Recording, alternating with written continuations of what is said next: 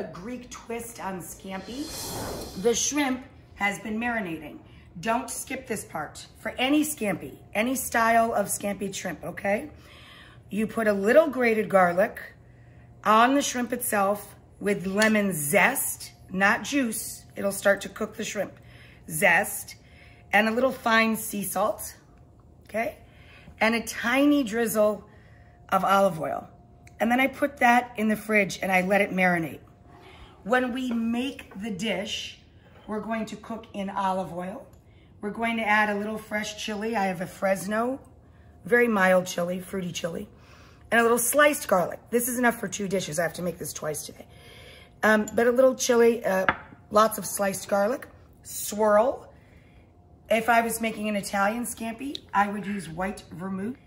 We're making a Greek scampi, so we're gonna use ouzo. Brown the shrimp a bit first over medium-high heat in the olive oil.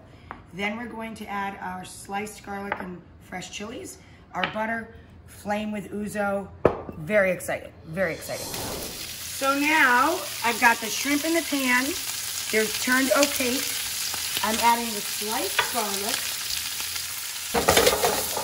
Give that a shake. Gorgeous, gorgeous. So now, just before the, the fish, the shrimp are done cooking through, remember what I said? We're going to add the ouzo off burner. Let's stick and flame it. Wow. Scared me.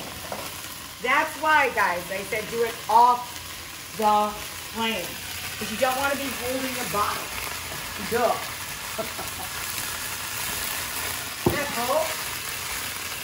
It's not cool, it's hot.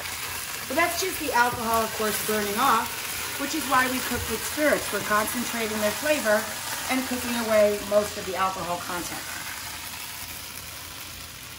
Neat, right? Super fun.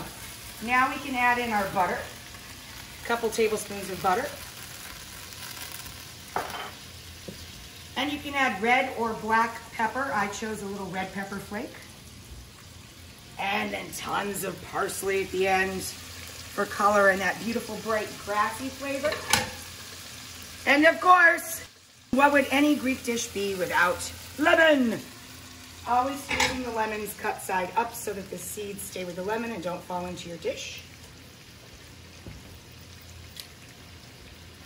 And that's it. Give it a little swirl and she's a done.